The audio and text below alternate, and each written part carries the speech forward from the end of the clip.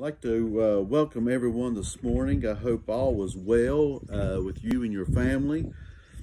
And, you know, just in a short amount of period of time of three weeks ago, uh, the economy was good, uh, employment was at an all-time high, and, and then if you could go back in time and say in three three weeks it'll be wiped out, you'd probably think he's crazy. But in that time, it's, it's, it just goes to show you on how fragile man is.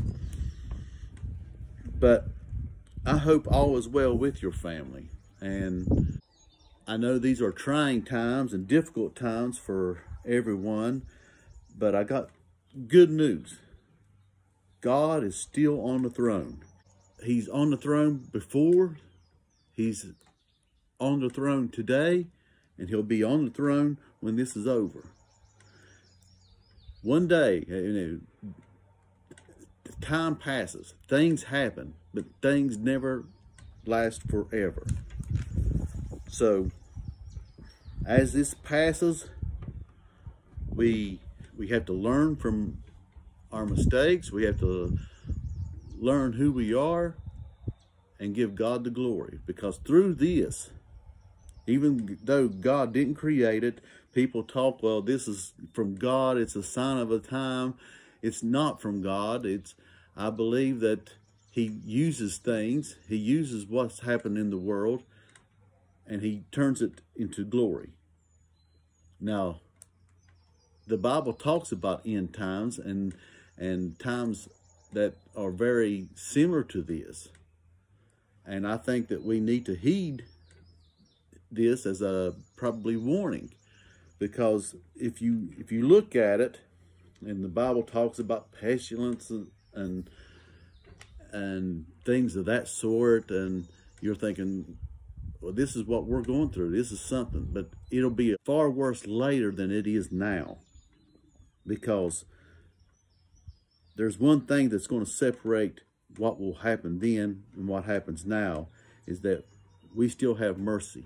We still have God. We still have the church with us. Because when these things happen, the, God's going to shout and he's going to take his children home. But we're still here.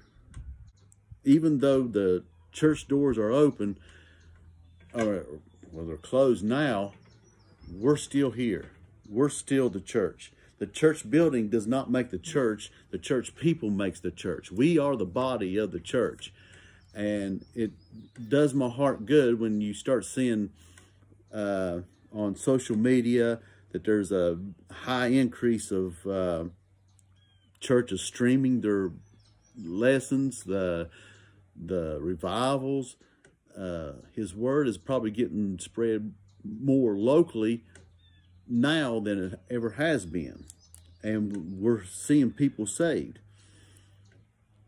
So even though it's hard and it's difficult for families and it's a trying time, his glory will still shine through. And it's, we all have to do our part. We all have to be the church because people are looking for answers. People, people who don't understand and who are searching for God are looking for you. And you can be that person. Because um, we need to upbuild the church. We need to show that God is still on the throne, that his mercy still stands, that there is ample time for you to make Jesus Christ your Savior. Because it's one thing to go through time, these times knowing that you're a winner either way. That no matter what happens, that you're a child of the King. But it's a lot diff more difficult to go through these times when you have you don't have that hope. When you don't have that sense of uh, I'm a winner either way. Because it, it, I can imagine it would be difficult. It, it could be scary. And people are looking for that hope. People want something to hold on to. And we got to share the gospel. We got to tell them how good he is for uh, that he's all mercy and that these are the times when you that people look to, toward him and they need, need him and we got to explain how and give them direction on how to get him but for my lesson today it's titled the lowly king and it's found in zechariah chapter 9 verses 9 through 17 it says Rejoice greatly, O daughter of Zion. Shout, O daughter of Jerusalem. Behold, the King cometh unto thee. He is just and having salvation, lowly and riding upon an ass and upon a colt, the foal of an ass. Here we have in verse 9, well, actually, I want to take you back to verse 8 to lay a little, small foundation. And in verse 8, it says, And I will encamp about mine house because of the army, because of him that passeth by, and because of him that returneth, and no oppressor shall pass through them any more. For now I have seen with mine eyes. In verse 8, the uh, Bible scholars say that Zechariah is prophesying Alexander the Great. And Alexander the Great was going through at the time, uh, going through the Mediterranean, and he was uh, conquering city after city after city. And when people would hear of Alexander the Great, they feared because they knew that they could be the next city to go down over his reign. But when he got to Jerusalem, he passeth by. He didn't take Jerusalem. He went around it and Zechariah was prophesying this. Well, in verse 9, he says, Rejoice, O greatly, O daughter of Zion, shout, O daughter of Jerusalem. This is a, just a poetic uh, reference to the people. He said, Thy king cometh unto thee, he is just. And when Zechariah is uh, referencing the king, he's talking, uh, he's referencing Jesus Christ. And as we know, Jesus was just. He was perfect in all way. He was uh, born of a virgin. He had no sin. He died on the cross, and on the third day he raised. That's the whole foundation of our uh, belief, that he was perfect, that without sin, and that he had to be the ultimate sacrifice for all of our sin. He says, and, and having salvation, which through his resurrection gives us the salvation that we have hope that if we accept him, that we have that hope that we'll make it to heaven and be with him forever. But he said, he'll come as a lowly and riding upon an ass and upon a colt, the foal of an ass. Now, when Zechariah was prophesying this, this was 500 years before Jesus was born. And we find, uh, we find it in Mark and Matthew and John that they told of the story of Jesus coming into Jerusalem a week before his crucifixion, riding upon an ass. And the people would have uh, palm uh, leaves and they were waving them and putting them at the foot of the donkey. And as he traveled and came into the city and they were yelling, uh, Hosanna, Hosanna. And Hosanna uh, represents save us or save now. And this was fulfilling the prophecy that Zechariah had uh, told us right here. So here you have Zechariah, 500 years, prophesying that a man, the king, would come in riding a donkey, and then we find it in the New Testament that he did just that. So that prophecy was fulfilled. And in verse 10 it says, And I will cut off the chariot from Ephraim and the horse from Jerusalem, and the battle bow shall be cut off, and he shall speak peace unto the heathen, and his dominion shall be from sea even to sea, and from the river even to the ends of the earth. Zechariah gets a little confusing because he skips he skips around, and Zechariah goes from the point that he comes into Jerusalem to the next verse is that he's coming on his second coming, and he will be on his second coming. He will be victorious. He will come for his church. Uh, just like the prophecy in verse 9 was fulfilled, he's going to fulfill in verse 10. And it says, As for thee also, by the blood of thy covenant, I have sent forth thy prisoners out of the pit wherein is no water. This symbolizes a helpless pit in Babylon. The dry, the dry pit or cistern symbolizes the helpless situation they'd experienced in Babylon. So here he's telling them that you have a chance to go back to Jerusalem. The dry pit or cistern symbolizes the helpless situation they had experienced in, in Babylon. Uh, Cyrus was the person God used, but the basis for their release was the blood of God's covenant with them. The prisoners had to be given hope to return to the stronghold, which was that could be interpreted as Jesus or Jerusalem. So he's given them a chance to, to return back to Jerusalem. So on verse 12, it says, Turn you, turn you to the stronghold, ye prisoners of hope. Even today do I declare that I will render double unto thee. He said, he blessed them twice. Know, you go back to Jerusalem, to the stronghold, to where God wants you to be, and he would double unto thee. He says, When I have bent Judah for me, filled the bow with Ephraim, and raised up thy sons, O Zion, against thy sons, O Greece, and made thee as the sword of a mighty man. So he's in, in this verse, it says, When I have bent Judah, which is the southern kingdom of uh, Jerusalem, and then filled the bow with Ephraim, which is the arrow, uh, is the northern kingdom, and raised up thy sons, O Zion, against thy sons, O Greece, and made thee as the sword of a mighty man. Zechariah is prophesying in a different time period. This is the time period that's in between the Old and the New Testament. This is after Alexander has uh, passed away and Antiochus the Fourth attempted to force Greek culture and re religion on Jerusalem people.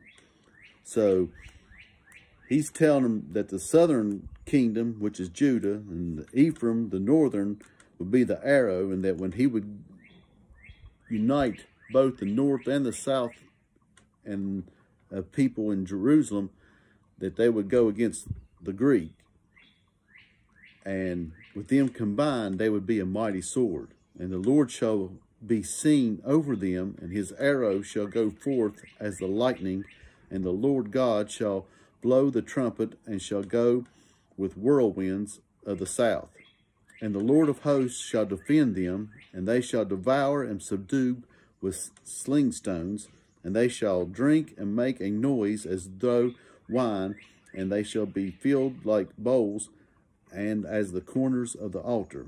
And the Lord their God shall save them in that day as the flock of his people, for they shall be as the stones of a crown, lifted up as an ensign up, upon his land. For how great is his goodness, and how great is his beauty, Corn shall make the young man cheerful, and the new wine the maids. And all the through these verses here, it's describing that the Israelites had victory over the Greek, which they did.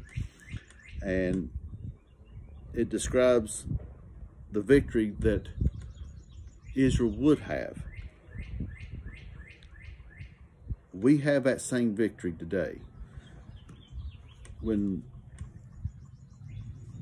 there's going to be a second coming. And during that second coming, that's our victory.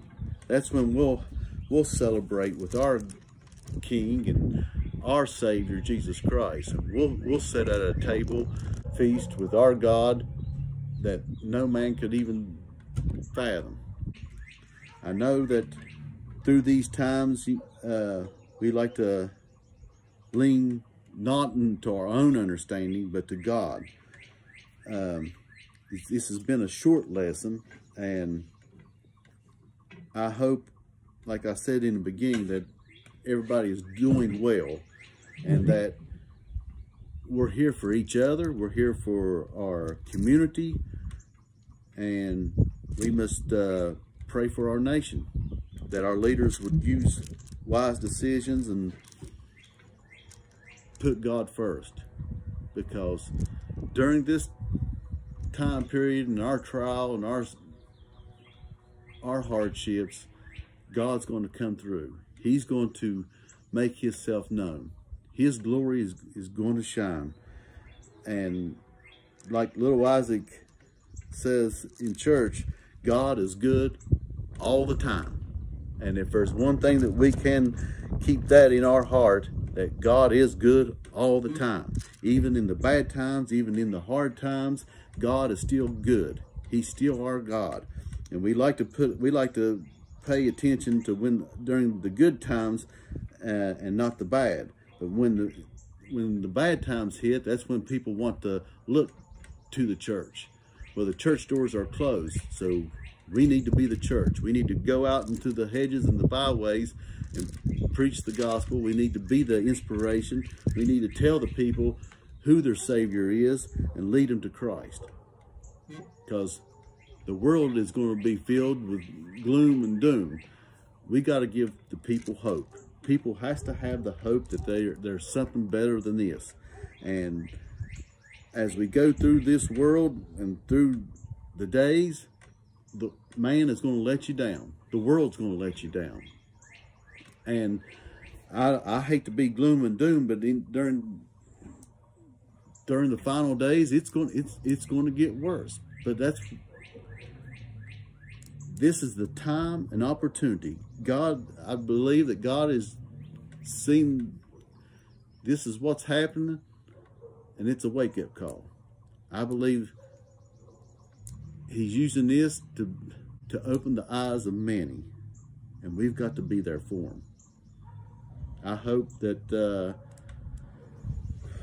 that you've got something out of this lesson. I hope that it helps you. Um, and if you don't know the Lord, I beg you to uh, to accept Him because it's so nice to have the hope and the salvation to lean on. Uh, I think of friends uh, and co-workers that I work, I, I, I don't want to see none of them perish or go to a devil's hell. And it would uh, honor me if any of them would ask for my help or my guidance or or direction and it would be an honor but as we look at each other you know i think we we we can't just focus on a sinner we gotta we gotta be proactive as a christian we as christians we all have friends and family and loved ones that are unsaved so if they're not getting the message, then we got to give them the message. We got to put them in our prayers. We got to start talking to them. We got to start pushing the issue of, hey, do you want to make, do you want to accept Jesus Christ? You want to make heaven your home? Because it's a perfect time and opportunity. Uh, the fields are white and the harvest is plenty.